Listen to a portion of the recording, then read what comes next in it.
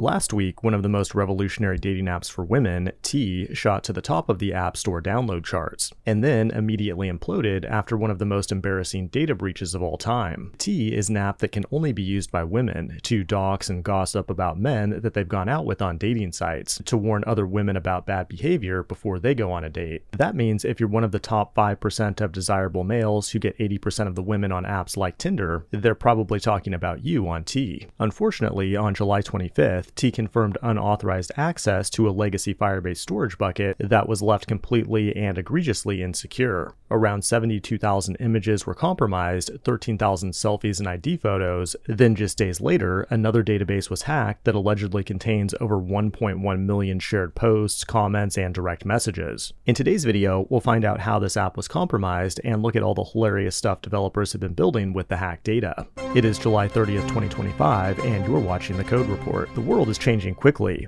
Just days ago, age verification for adult websites went into effect in the UK, and similar laws are also now in place in a handful of US states. We live in a dystopian world where gooners now need to get permission from the government just for the privilege to goon online. Protecting kids from degenerate content is a good thing, but it's only a matter of time before one of these age verification datasets gets hacked. The Tea app, which requires women to verify that they're women by taking a selfie with their ID, is a perfect example. It was cooked up by Sean Cook, a male developer with over six months of coding under his belt, according to LinkedIn. But now his app is cooked after this massive data breach was dumped on 4chan, and it's kind of sad that an app meant to help women stay safe ended up harming them instead. 4chan Anons played the Uno reverse card when thousands of selfies of users on the Tea app were dumped and subsequently spread across the internet, and people are continuing to roast these Tea users as we speak. The users of this app and the victims of the breach are being referred to as roasties. The Vibe coders saw an opportunity to build all sorts of ridiculous apps based on this data. Like one guy used Python to do a detailed data exploration, while another used JavaScript to take the location data from the hacked images and plot it on Google Maps, while another person made a website to rank them based on their looks. After the breach went viral, the Tea team released a statement, which was basically a non apology with a bunch of corpo speak that explained how a legacy data storage system was penetrated non consensually.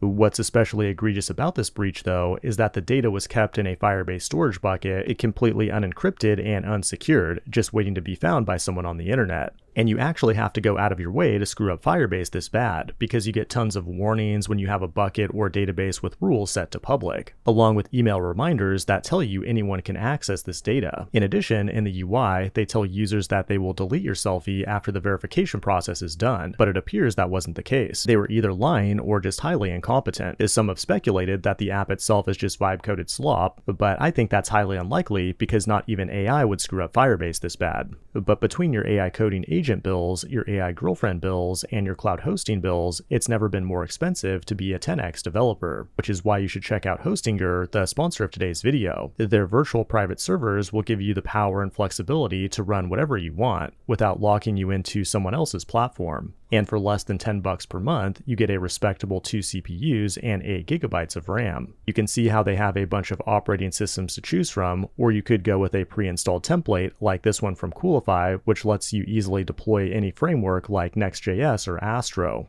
If you want freedom from our serverless overlords and a great developer experience, check out Hostinger at the link below for an even bigger discount. This has been the Code Report, thanks for watching, and I will see you in the next one.